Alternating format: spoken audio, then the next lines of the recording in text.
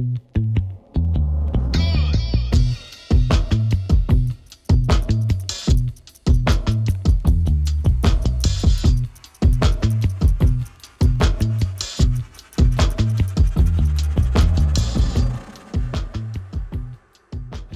De comenzar este episodio es muy importante hacerles saber que el objetivo de este contenido, de estos pensamientos, no es, no lo es, no es que dejen de usar su celular, es simplemente que monitoreemos, que estemos más presentes y que encontremos razones por las cuales es chido estar clavado en el celular un par de horas al día. Porque aceptémoslo, los celulares son una cosa bastante chida. Llegaron a nuestras manos no sé hace cuántos años, yo creo que como 10, 15 años por ahí, no tengo el dato correcto. Pero lo que sí tengo es eh, el dato pues de que si yo quiero viajar, puedo comprar un vuelo, puedo hacer hospedaje, puedo pagar muchas cosas. Tenemos aquí música, tenemos teléfono, tenemos cámara, tenemos redes sociales, tenemos tantas cosas, tanta información al alcance de nuestras manos que la neta los celulares son bien chidos. Pero de repente también existe este otro lado oscuro, que de repente estamos en el celular, se nos enfría la comida, se enoja un amigo, muchas cosas pueden pasar. Y es por eso que el día de hoy les voy a compartir cuatro razones por las cuales yo estoy monitoreando el contenido, lo que consumo, cuánto tiempo paso en el celular y que creo que también podrían ser un poco valiosas para ustedes. Espero que les guste. Esta primera razón es muy importante porque dejando de lado el tema de que no vamos a dejar de usar celulares, creo que es muy importante eh, monitorear lo que estamos consumiendo. Ahí les va una historia. Hace poquito, hace como un año o no, como un año y medio, dos años salió un videojuego de nombre Smash Brothers Ultimate. Si ustedes siguen este canal o me siguen en redes sociales, saben que soy,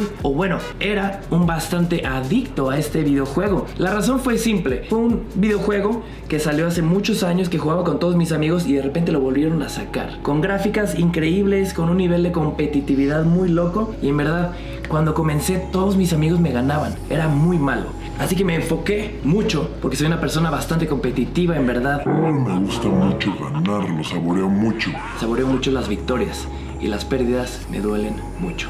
¡No! ¡No! ¡No! ¡Me quedé sin brinco! ¡No! Después de varias humillaciones de mis amigos, me enfoqué en ser un gran jugador de Smash. Empecé a seguir en redes sociales, en Twitter, en Instagram, a ver episodios en YouTube de este videojuego. Empecé a jugar con diferentes personajes, empecé a seguir a los pros, empecé a ver cómo jugaban, empecé a aprender. Amigos, me hice muy bueno.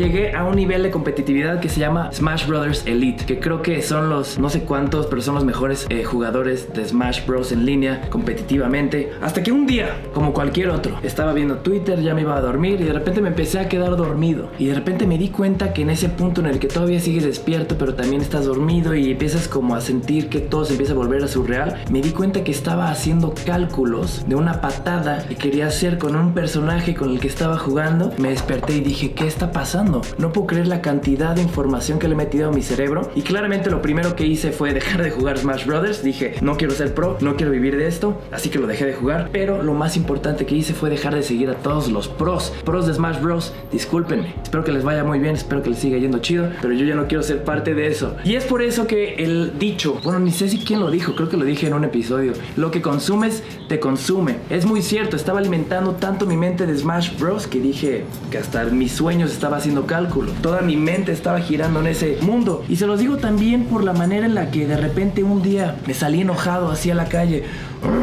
Todo está la ch y luego dije, a ver, tranquilo, carecito, ¿por qué estás tan contento si los pájaros cantan y tu café está caliente y vas a ver a tu mejor amigo y vas a comer en un restaurante muy chido? ¿Por qué estás enojado?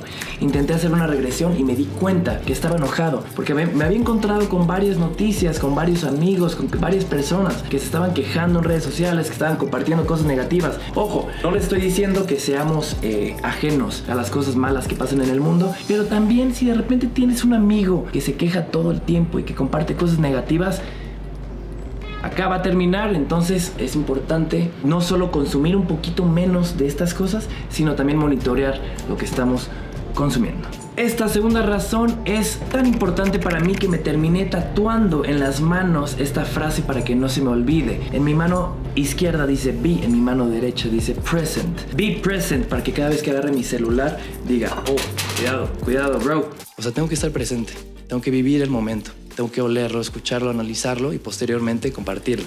Primero asegúrate que estás presente, que estás con las personas que te rodean, que no se te enfría la comida, que eso es un pecado, eso debería ser ilegal. Si de repente la policía te ve, oye, tú, bro, oye, bro, se te está enfriando la comida. Eso debería ser ilegal. Entonces me tatué el Be Present porque es muy importante para mí el realmente estar presente con las personas que te acompañan. ¿Qué tal que es un amigo que hace mucho tiempo no ves? Por andar aquí subiendo el story, buscando cómo se ve, si se ve más bonito centrado el texto o del lado derecho, qué rol le pongo, se te fueron 5, 10 minutos tan valiosos que quién sabe cuando vuelvas a ver a ese gran amigo. Y también de repente se vuelve de miedo porque de repente digo, ok, el día de hoy voy a meterme y únicamente mandar un mensaje a tal persona. Pero de repente te metes en Instagram y ves una foto y ves a Beyoncé y de repente ves que a Beyoncé le tomaron fotos en el sofá que quieres para la cueva del bosque y de repente te sales del trance y dices, ¿qué hago viendo el nuevo coche de Justin Bieber? ¿Cómo llegué aquí? Y es muy peligroso porque creo que lo dije una vez en una conferencia hace un buen rato. Para mí las redes sociales son como un hoyo negro, donde está chido de repente compartir cosas, aventarlas ahí de lejos y que estas mismas ideas chidas que tienes que vayan dando vueltas en este hoyo negro. Pero ojo, porque si te asomas mucho, este pinche hoyo negro te va a absorber y llevar hasta quién sabe cuántas horas de tu día sin tu consentimiento. Este número 3 también es muy importante y creo que cada vez más, especialmente ahorita, soy una persona que me cuesta mucho trabajo poner atención.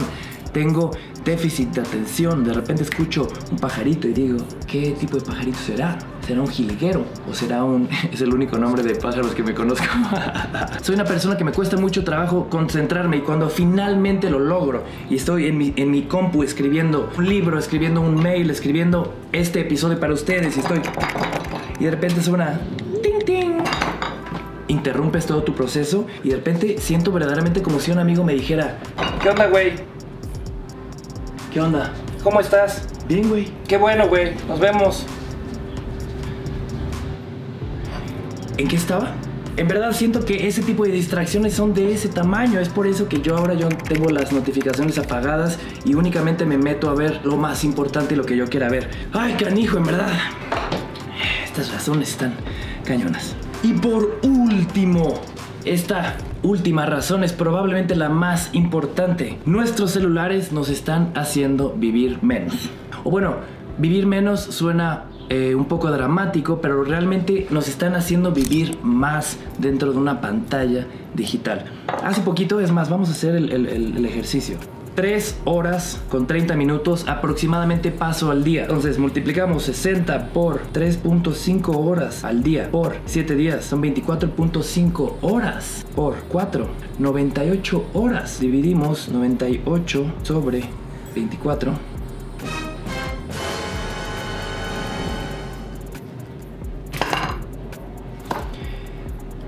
Aproximadamente con mis cálculos bastante malos, no soy bueno para las matemáticas, pero por eso soy fotógrafo y viajero y de ratos escritor. Pero según mis cálculos paso un par de días al mes en mi pantalla. ¿Se imaginan? O sea, completamente un día completo en tu celular.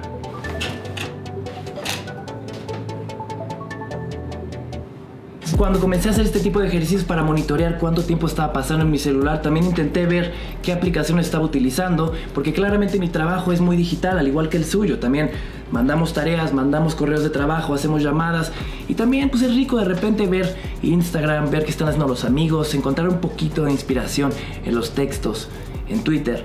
Pero me puse a investigar y me di cuenta, ah, ok, estoy pasando tiempo mandándole fotos a mis papás, viendo los videos que mis papás me mandan en el bosque, platicando con amigos que viven en Barcelona. Entonces, como les dije en un inicio, el objetivo de este episodio no es dejar de usar el celular, es simplemente intentar monitorearlo un poquito más, usarlo un poquito menos y también asegurarte que cuando, por ejemplo, ahora que mis papás los veo una vez a la semana, una vez cada 15 días, me aseguro que esas 3 horas y media, 4 horas que paso en el celular, no pase nada de ese tiempo cuando estoy con ellos. Porque en verdad no sabemos qué cosas pueden pasar. La vida puede dar muchas vueltas y nos puede alejar, acercar y hacer ir deshacer todo el tiempo. Entonces, espero que les haya gustado este episodio. Yo sé que es muy extraño y diferente viniendo de un creador de contenido. Simplemente quiero lo mejor para ustedes. Les tengo un gran cariño y un aprecio enorme. Entonces, si quisieran una segunda parte, como qué tips como por ejemplo lo que les compartí de apagar todas las notificaciones o qué consejos les puedo dar para usar menos el celular, háganmelo saber en los comentarios. En verdad espero que les haya gustado y compártelo con ese amigo que siempre está en el celular y se come la comida toda fría. Ah, Nos vemos a la próxima. Chao.